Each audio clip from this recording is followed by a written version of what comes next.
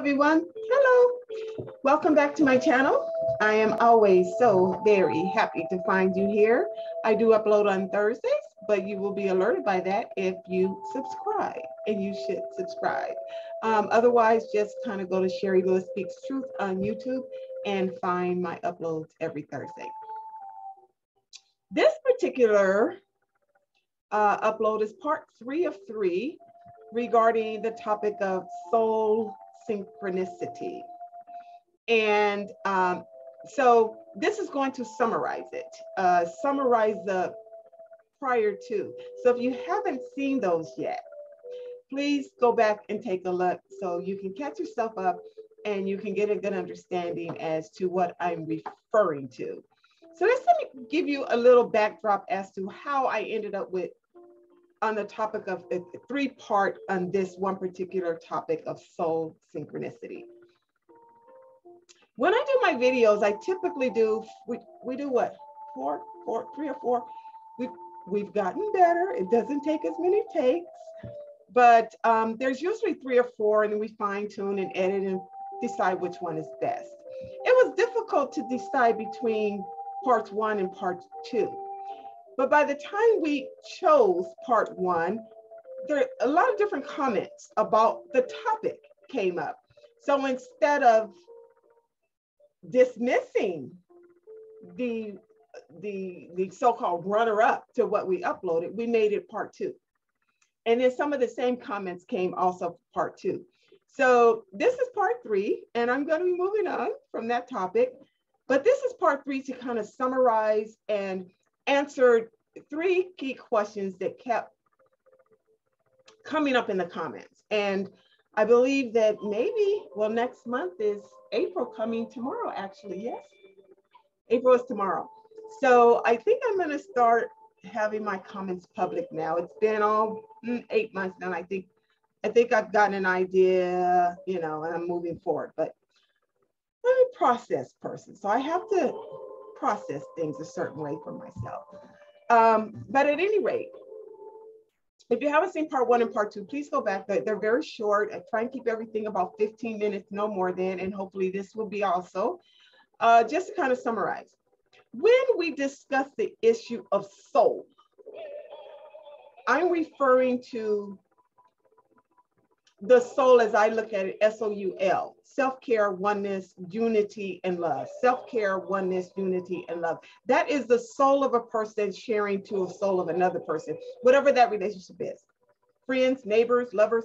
And it's another thing. We often think our soulmate is our love mate. And he or she is, but we have soulmates and friends.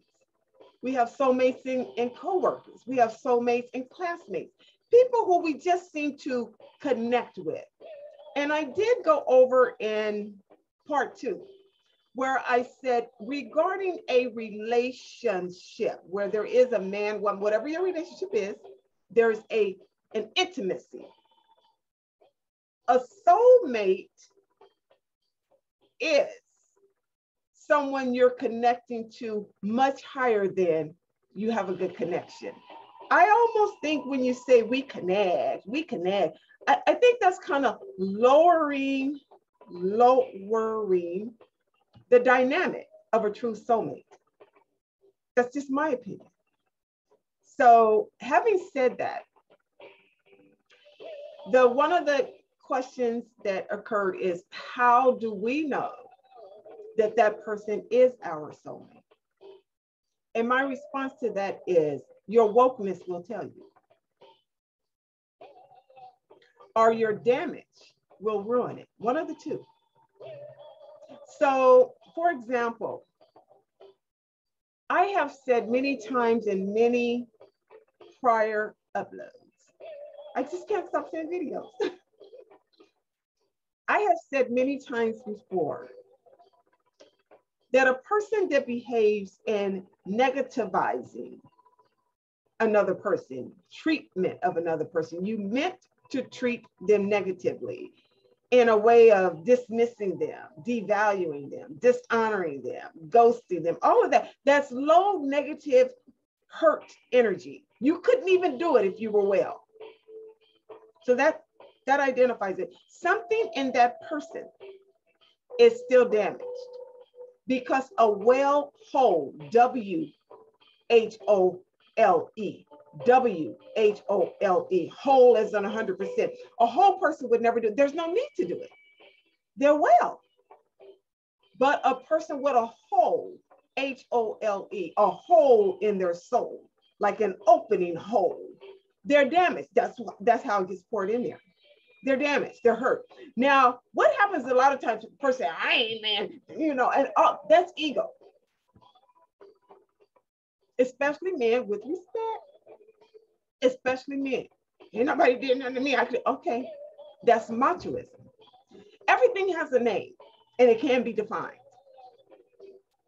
So when you do that, it's almost like you want to say, I protected myself, I can't be hurt. That's pride. See all of this. Work on you. Work on yourself, and it's okay. But work on you so that you can present yourself to someone worthy of you and you of them. That's why you met her or him before and you ruined it. Respectfully, respect, let me sit up. I love you respectfully. It was your hurt part, it was your damaged part. So that's how you know it's a soul. A soul, self care, oneness, unity, and love is ready to receive. They're looking for the next person they meet, whether it's a business partner or friend. They're always on what I call woke mode, alert mode. Why is this person showing up in my life? It's my job to know why. I need to value that. Did they come to help me? Or did I come to help them? Or are we here to work together in fine tuning the universe? Whatever it is, you don't have to look at it so broad, but you should recognize. And if you don't even know how, that's your answer. Work on you some, respectfully. We're all a work in progress, WIP. We're all a work in progress. But if you, with a hole, damaged in, hole in your soul, if you travel back to all the relationships, whatever type they are, that you keep swimming to the next one and the next one, it's because you haven't fixed that hole. And it's like pouring water in a bucket and it just keeps draining out and draining out. And you haven't fixed it because you haven't fixed you. So fix you. And it's okay. All my videos say fix you. I say fix you because no one, no one wants to acknowledge their part. I can see it in you, him, her, them, they, over there, but not you. So fix you. And it's okay.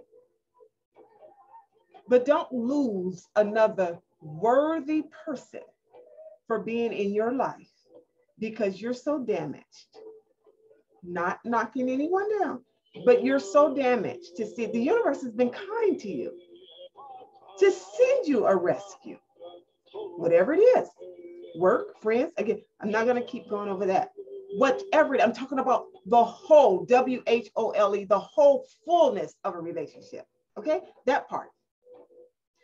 The other question that comes up is when do I know when to stop either waiting or hoping or fixing that person so they'll come around to see and you know when when do i stop doing the work and wait for them? You'll know when if you're woke enough. Because what you don't want to do is make this mistake that so many i'd say most of us say after all this time yes souls don't work in time souls work in seasons. So right there go learn some more. No respectfully don't do it respectfully. Don't respectfully. Soul synchronicity has nothing to do with time. Let me tell you why. If it had to do with time, you would have met them right when you needed to meet them, wanted to meet them all these many months or years or times before. But you didn't because either they weren't available for you or they weren't ready for you. Maybe they, maybe the universe was doing work on making them more presentable. Maybe they had a weight problem and you had an issue with people that had weight problems and they got out there and they don't have all of that. You know, we don't know what we don't know. So that's the serendipitous piece. All of this mystery is not for us to know. What we need to do is to come ready. Come authentic. Come woke. Come raised in your vibration. Come open in your mindfulness. Come open in your heart. Come pure in your soul. Come compassionately. Come without the weight of your damage. Because that poor person has done all the work not to inherit it. Why should they inherit the you that someone else messed up? The you before you got messed up is who they were looking for. But now here you are, still mad about whatever happened in other relationship and bring it there. That is called, we, we want to call it baggage, but it's damage. And we don't want to say damage because nobody wants to say, oh, look at Everybody has something in our lives in which we are working on. Everyone. So stay alert, stay woke, do your work, and be deserving of the person. And if the universe has released you and your season is over, you will know. You will know. Even if they showed back up now and your season is over, now the choice becomes yours. Make, be careful with the choice. They did the work. They did the work for you. So at least, again, keep the open heart. They did the work for you. Don't be so mad about what they did. Remember, what they did, whatever they did, they did it from a place of hurt. The other day here in California, two days ago, I believe, there was a dog rescue in a ravine. Everybody in my family are dog lovers, but particularly me. Well, I shouldn't say but particularly me, but they all know I love some dogs. And my mom called and she said, Are you watching the news? Are you watching news? They're airing it live. And I said, I can't watch it. I don't know how it's going to end up. I don't want to see what if they can't rescue the dog. Can't. I couldn't even watch it. That's my hurt. That's my pain. I can't, I can't see it. I can't. I need to know. I can't be in the, I, I couldn't be in the, the drama of it. So there my mom was watching it was airing live. And then she called me back. And when she, I said, call me back when it's over and tell me. And she called me back and she said, I answered the phone. She said, they rescued him. I was, oh, I was so happy. It was like that. So the point I'm making by that is my mom shared with me when they rescued the dog, the dog bit the handler, of course, because the dog is in pain. He's in, he's fright, he's shed. So these things happen when a person bites at you, snaps at you, you have to remember they're they're in trauma at that time. They're in trauma. You still need to be a part of the rescue team. You were sent there. Be heroic, just like those handlers were. Everybody's rooting for you. Everybody's rooting for you. And some, like me, can't bear to watch it because I only want you to rise above in your awakeness, rise above in your mindfulness, rise above in your vibration, and live your best life and get out of the ravine that got you caught up because of some damage and some mistake and some accident that happened and make the best out of it. And that's what these three parts on soul synchronicity has been all about. Give everybody a pass. Be compassionate. Be understanding. Be loving. Be kind. Be purposeful. Be forgiving. And I love you. Bye.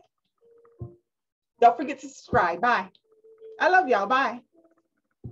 Oh yeah, this this video is dedicated. I'm sorry. This video is dedicated to my godmother. Um, she always called me Ladybug, and I love her. Rest in heaven, Garrettine Mitchell. Bye.